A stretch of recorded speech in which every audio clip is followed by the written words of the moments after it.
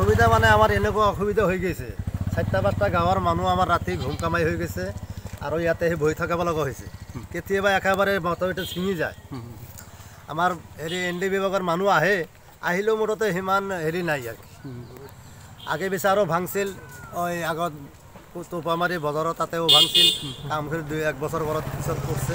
কিন্তু আমাৰ এইখিনি যেতিয়া ভয়াৱহ কাম আৰম্ভ হৈছে বৰ্তমান যোৱা বছৰৰ যোৱা বছৰো অলপমান ভাংছিল কিন্তু কাম সেনেকৈ নকৰলাক আৰু নাভাঙে নাভাঙে নাভাঙে বুলি ইমান গুৰুত্বপূৰ্ণ নকৰে।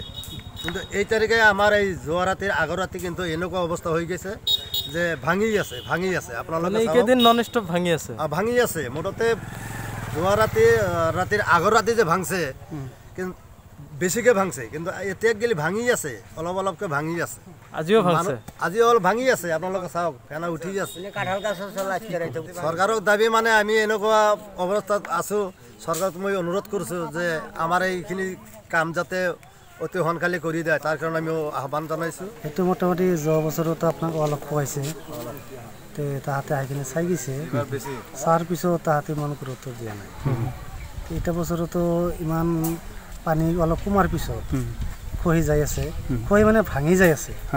ভাঙি যাই আছে আমাৰ ৰাইজে আহি কিনে আৰু আঠটা দহটামান কামলা লৈ কিনে আমি ৰাইজৰ লগত থাকি কিনে গাছ এডাল কাটি দি কিনে কিবা কিবি কৰি কিনে বস্তুটো ভাঙা অলপ কমাইছোঁ আমি। কমাই দিছে এতিয়া কথা হ'ল কি আমি চৰকাৰৰ ওচৰত জনাইছোঁ আমি দাবী যে যাতে আমাৰ মাথাবোৰ এতিয়া নিৰ্মাণ কৰাৰ বাবে অলপ ইফালে চকু দিয়ে।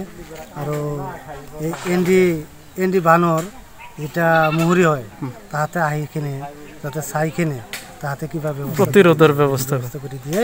এইখিনি আমাৰ দাবী জনাইছোঁ